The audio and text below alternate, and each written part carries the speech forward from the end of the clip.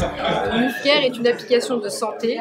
Euh, c'est un DM, un dispositif médical de classe 1, qui permet de détecter plus précocement des rechutes et des complications euh, pour les patients qui ont le cancer du poumon. Le patient va recevoir chaque lundi matin un email sur lequel il va cliquer.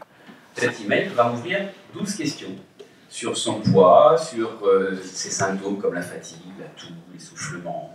Et si les algorithmes suggèrent un problème, eh bien, une alerte va être lancée à l'équipe médicale qui va prendre contact téléphoniquement avec le patient. C'est la première fois qu'un logiciel de télésurveillance médicale qui incorpore des données de santé reportées par le patient et accessible au remboursement en France. L'ambition de MoveCare, c'est d'être une société pionnière en santé connectée. Nous souhaitons renforcer l'implication des patients euh, dans leur traitement. Nous avons prouvé, on va vous le montrer, que le MoveCare améliore la survie et la qualité de la vie.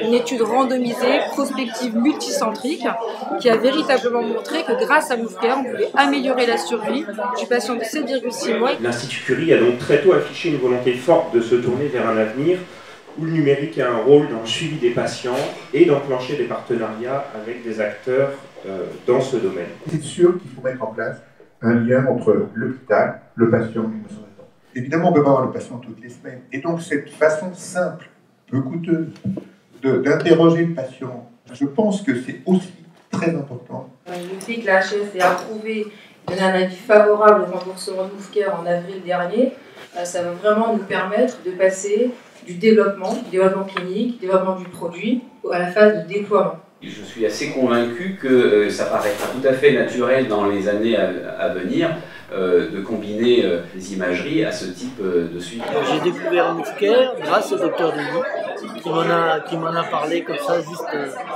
pendant mon traitement pour m'aider suite à mon cancer. Je vis mieux. Je vis mieux.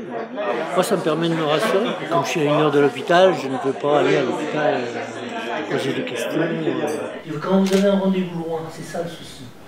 Vous voyez personne. Si ça ne va pas, vous marquez, et hop, vous, êtes, vous attendez le coup de téléphone. Et voilà, vous cliquez et hop, c'est envoyé. Et si ça va bien, bon bah, à lundi prochain.